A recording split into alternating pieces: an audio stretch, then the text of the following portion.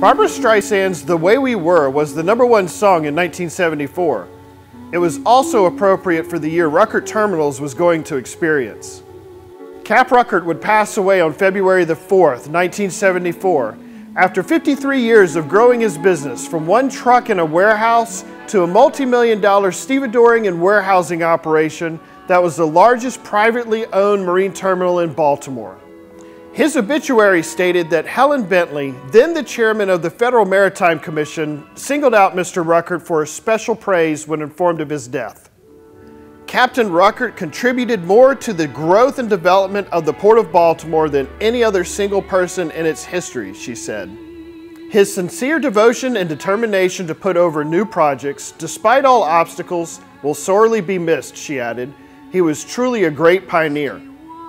Not long after that, on March 19th, Norman Rukert Sr. would make a bombshell announcement at the Board of Directors meeting that would threaten Cap's legacy.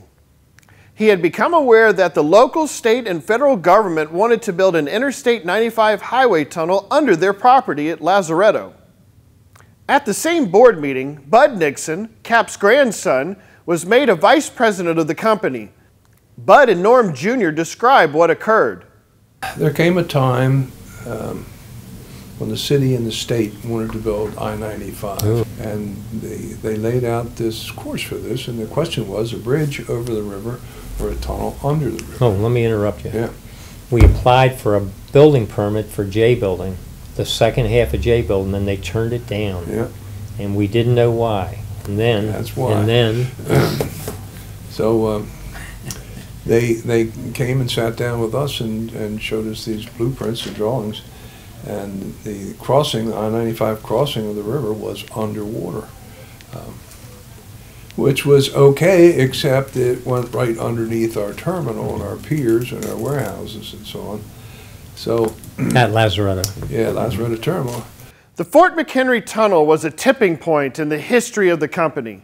They could take the money and close down, or borrow even more and continue to expand. They, they condemned us and we lost the property for a period of almost five years.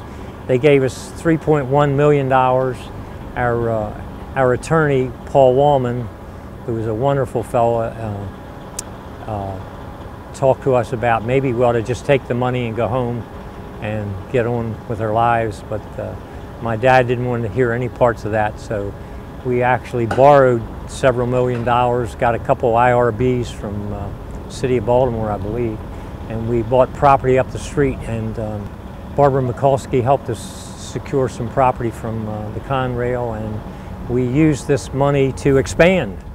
The Fort McHenry Tunnel was one of the last parts of I-95 to be built with a budget of $825 million. The tunnel sections were manufactured in nearby Port Deposit and delivered on barges.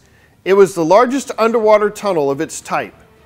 From the time Rukert became aware of the Fort McHenry Tunnel project to the time it was completed, it would take 10 years. So we started expanding in the early 80s and uh, we haven't stopped since then. So it's been, it's been quite a journey.